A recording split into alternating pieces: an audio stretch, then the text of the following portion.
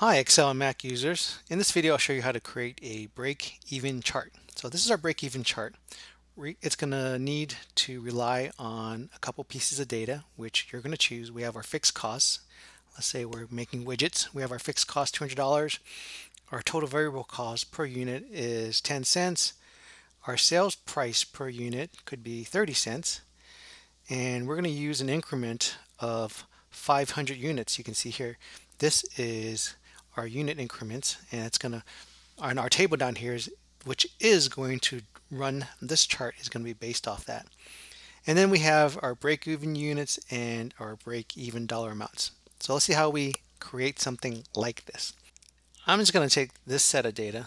This is all fixed. These have no formulas in there. So it's something that's in a way arbitrary what you put in there. So take this control C to copy. Bring it in here control V to paste. See I have my fixed cost at 200 $200 10 cents variable cost 30 cents sales price per unit and my $500 500 unit increments for my chart the break-even units this is going to be based off of my fixed cost divided by going to divide by the sales price minus the variable cost per unit right so in this example, it's going to give us 1,000. The break-even price, it's going to be equal to my break-even units, multiply that by the sales price per unit. Right, so I've got to sell at least $300 worth to break even. And you can see that it is the same here. So how do we create our chart? We're going to have to populate this table now. And we're going to start with the units of zero, right? And for each unit we're going to increment it 500 so all I need to do is take that plus that particular amount. For this amount I have to use I have to make sure it's an absolute cell reference. Otherwise it's going to keep changing as I drag or copy these cells down. I need to put dollar signs in front of the B and the 6 or I can use the FN F4 key and that's going to put the dollar signs in front of the B and 6 that makes it an absolute cell reference. So if I drag it down, it's going to stay persistent. So you can see B6 stays, but D20 ch changes. This reference is B19, so that changes. And I think I needed to probably, maybe just add one more, have it go up to 3,000. For my fixed cost, that is going to equal that particular fixed cost. All it's going to do is equal that, press function F4, because when I copy that down, I want to keep that the same. Press enter and drag that down. Or I can I could have just put 200 there, but let's say we if we wanted to use as a template, you want to change that to like 300, you can just change it one place and it will affect everything else. So for my variable cost, that's going to be equal to my variable cost and function F4 because we want that to stay the same.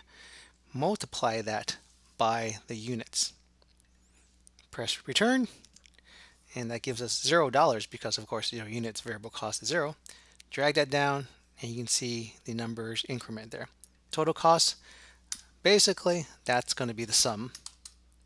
Press sum, tab, select these two, press return. That gives my total cost there. I can drag or double click the fill handle. I dragged earlier, but you can also double click the fill handle and it'll copy the formula down. So for my sales, that's basically going to be equal to my sales price and function F4, FN F4, that multiply that by my units sold. You sell you sell zero, of course your sales are zero. Double click the fill handle, drag that or drag it down, and we have our data here.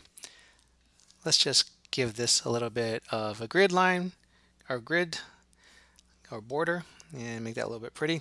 Now I need to go ahead and use this table to populate my chart. So to create my chart, all I need is I need data from the units column, the total cost, and then the sales to kind of see the lines and see where they intersect for that break even.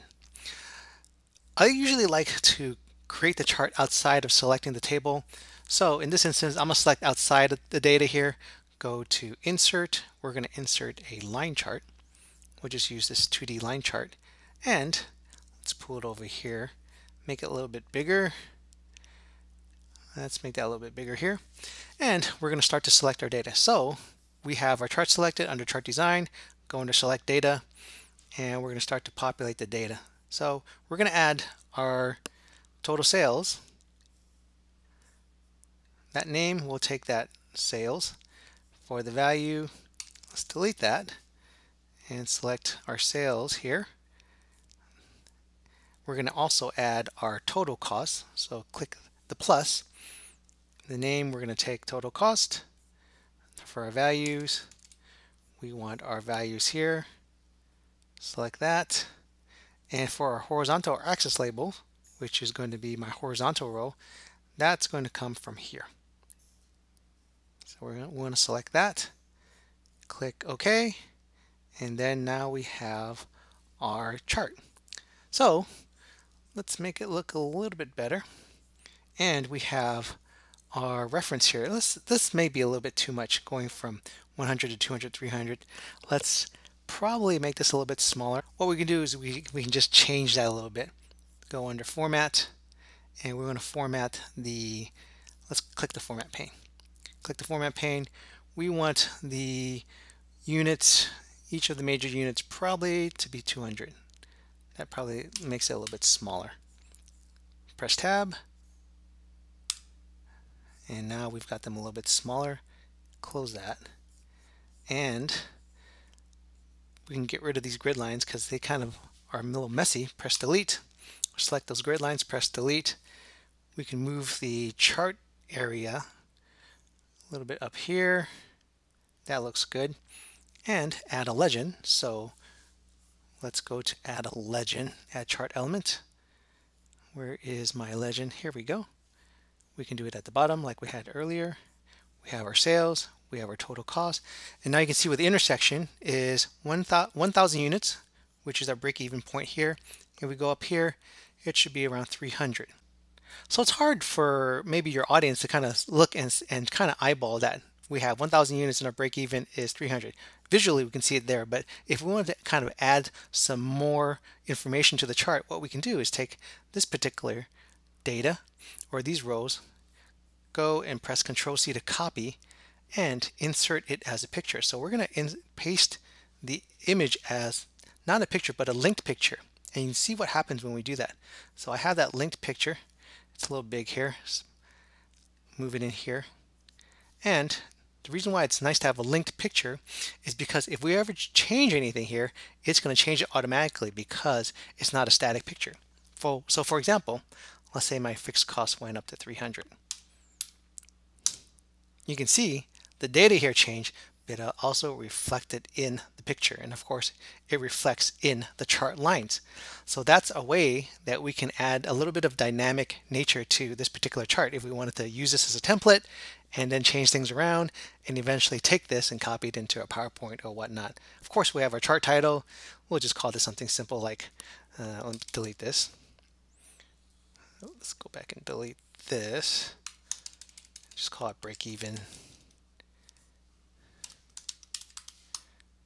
Not real even, break even. And just simple, right? And that's our way that we can create a break-even chart.